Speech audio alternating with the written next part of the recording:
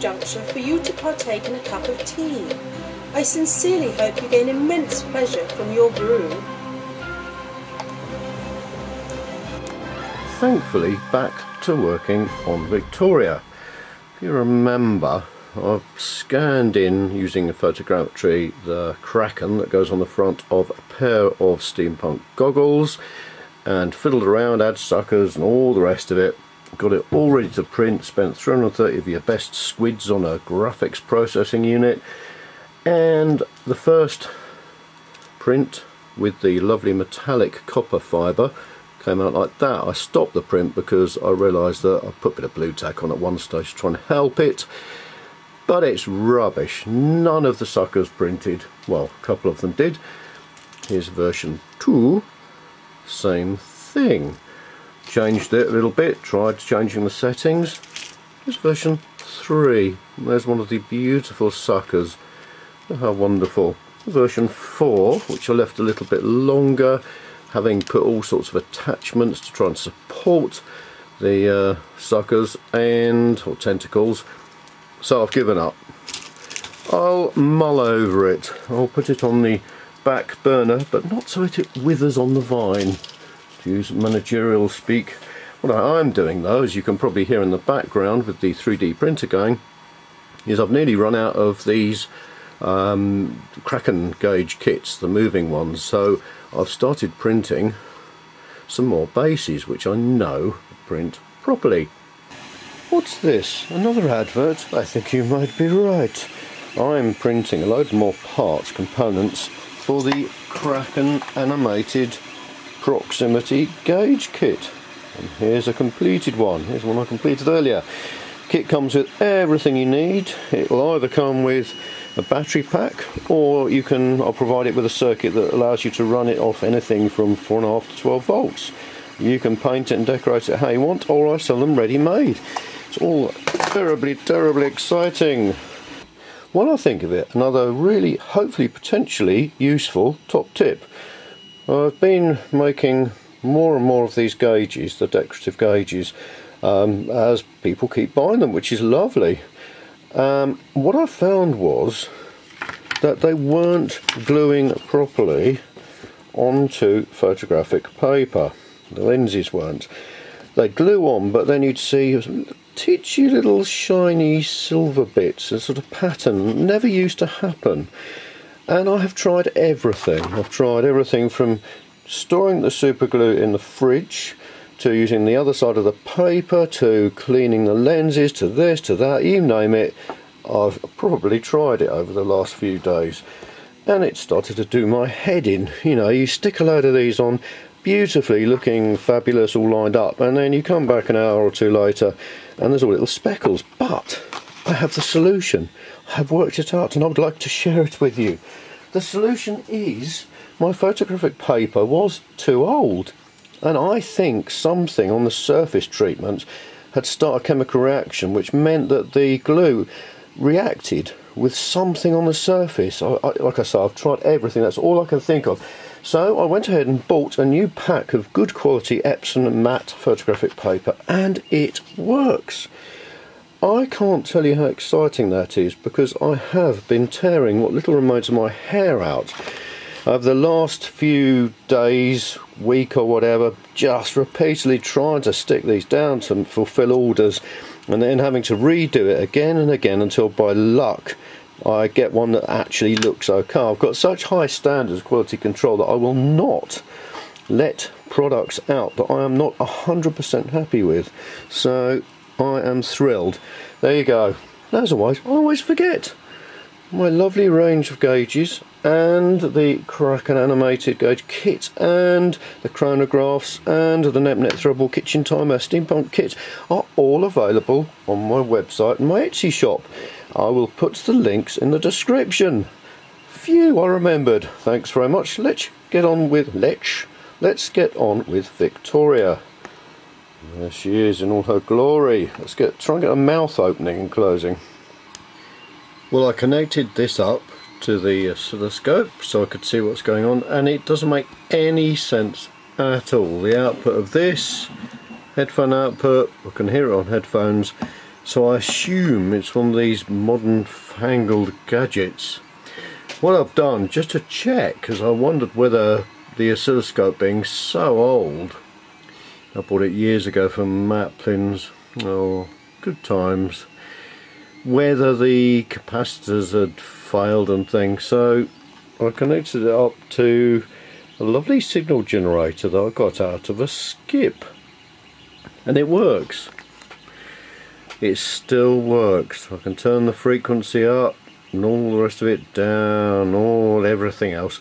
So I know the oscilloscope works so it's got to be because this Roland um, voice recorder outputs some one of the clever pulse width modulation systems that I suffered when I started working on um, the Is It Time for Tea machine with Florence. So, I've got my laptop and I'm going to try the same thing outputting audio from that and just hoping that it doesn't do anything too clever that it's the old-fashioned sort of audio output. Just to demonstrate this I'll show you what I mean. I'll press play and there's an audio file and it's just nuts. It's all over the place and this is the same settings as to display uh, an audio output from the frequency generator and it's just it just doesn't do it Random zero. Track one. here's an audio Random file zero. I will one. plug Random the zero. Track one. audio Random output zero. Track one. into that oh look at that it's a proper audio file. Proper audio output can speed it up. Slow it down. That is a proper old-fashioned audio file so I have to use this then. But the great thing is now I have an audio signal of varying voltage that I can actually see is audio so now I can feed that into my circuit and see what it does. So I reckon that's the envelope because it waits until each little bit of speech is passed and then drops down starts up again. A little bit of an issue here. When I switch the mouth on and off at 5 volts because I wanted to try it with the actual mouth and see but if I do it quickly it takes it, it doesn't have time to open. I actually had to put a little weight underneath made of Blu-Tack to get it to open because I think this is much lighter than the original for some reason. Oh that's right. It pushes back so the jaw hinge is open. So sorry so the jaw hinge is closed. The mouth is closed all the time. Then when you switch it on it pulls this in lets the mouth drop open let go the little spring here pushes it back. Now I think the problem is that um, unlike this one where it's captive if you have watched a, previous video you know that I took off all this and this was free to sit in and out slide in and out which made it much quieter because you didn't get the, the clunk and bits and pieces anyway. So I think what I've done is there's too much gap here. This plunger is too far out so when you switch the magnet on it takes far longer for the um, plunger to move in. So I think I'm going to move it all back. Also it means the spring is too weak so it doesn't push the mouth back closed. This is why it's so important to be able to design something or to design something so you can get it to part easily.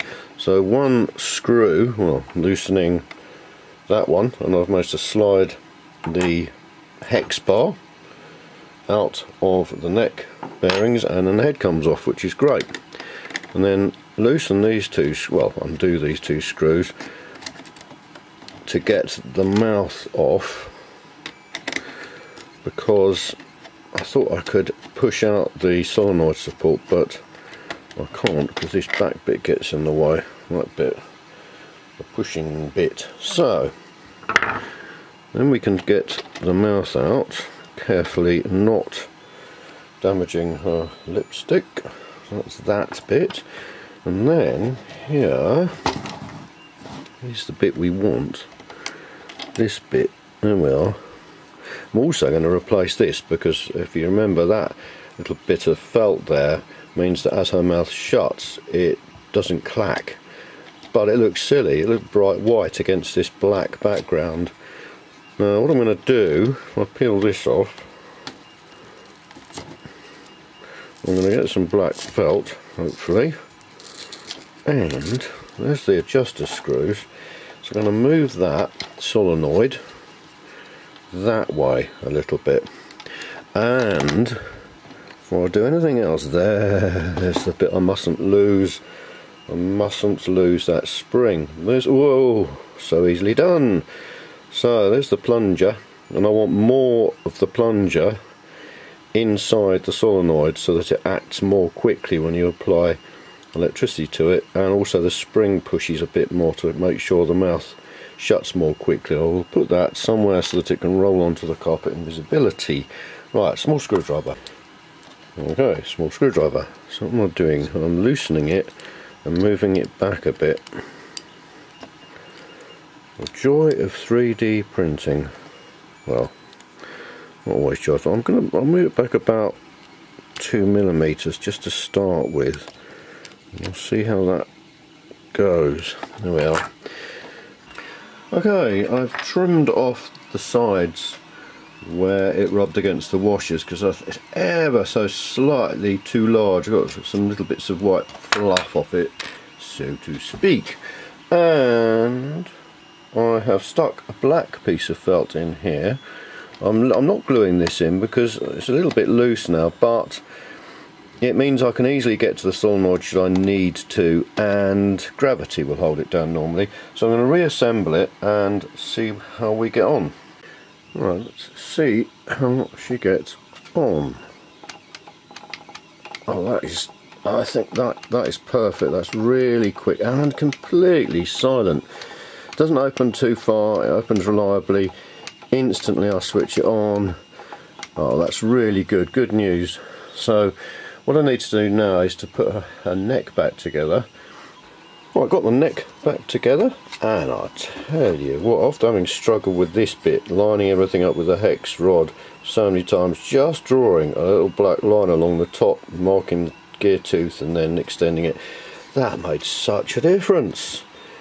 Okay, try and control the mouse from the circuit electronically. So what I've done, I happen to have a load of TIP121s which are Darlington pair transistors and they allow a very small voltage from something like this circuit or an Arduino to control much larger currents or a small current, a much larger current from something like a solenoid. When you switch a solenoid off you get back EMF which is a big spike because the solenoid doesn't want the magnetism to stop. It wants it to go on and on so it sends a huge reverse spike of electricity that can damage components attached to it. So you put a diode it's a bog standard diode 1N401 I think and the wrong way across the solenoid. So as you switch it off a big spike happens and it just gets shorted out by the diode so if we switch this on this is the circuit you can forget about all this all I'm going to do is I've got the Darlington transistor, Darlington pair, and that is switching this side of the, should be connecting this side of the solenoid down to 0 volts when I apply voltage to this. So let's do that. Right, I'll show you what effect that has. There. Now that is not opening enough. I'll just connect it, well I'll show you what happens when you connect it straight across the power supply. Yeah you can see it only opens about half as much and is drawing 320 milliamps so it's losing about 80 milliamps and that's because these have about a 1.5 volt uh, drop across them so I'm running it from 5 volts but the solenoid is only getting three and a half volts if maths is correct Right, I'll look at an alternative. An illustration, you say? Right, well you've got plus 5 volts and you've got 0 volts like that. You've got the solenoid connected to that. Down here you've got the Darlington pair which oh I'm trying to remember what the circuit sim diagram is. It's something like that or possibly not. That comes down to here. So the idea is and you have a resistor here to limit the amount of current that flows through the Darlington pair. So if this is connected to 0 volts or logic low from the um, Arduino there's no electricity flowing through the base. Oh yeah by the way that's the base collector and emitter. So nothing happens. But if you connect this up to um, plus 5 volts current can electricity can flow through the base out of the emitter down to ground and then the transistor switch on and then electricity can flow through the solenoid. So that's the principle of operation but like I say there is a one and a half volt drop across these the Darlington pair so that's no good. So what I could do is to actually connect the solenoid to a higher voltage 6.5 volts forget about that. That means that when this switch is on I've got six uh, 5 volts flowing through the solenoid.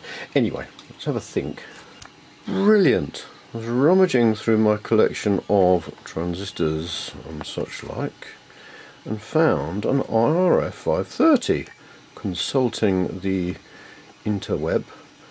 Um, I got the pinouts and these are slightly different type of transistors. They've got their connections called gate, source drain and they're MOSFETs and I've put it in here and wired it up in exactly the same way. It's all a bit of a lot of spaghetti. Let's see if I make it a bit clearer.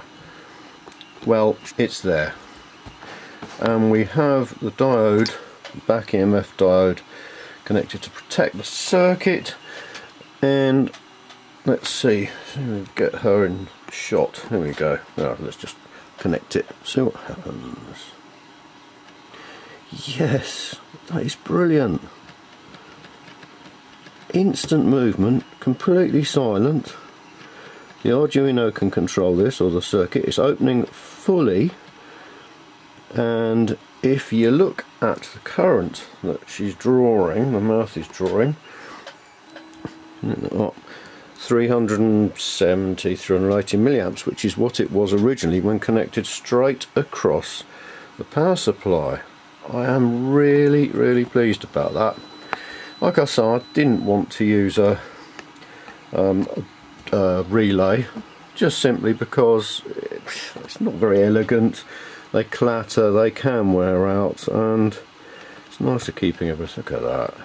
This is so exciting. Right, I'm now going to connect that up to the output from this sound detecting circuit and we'll see what it actually looks like when we play the audio through.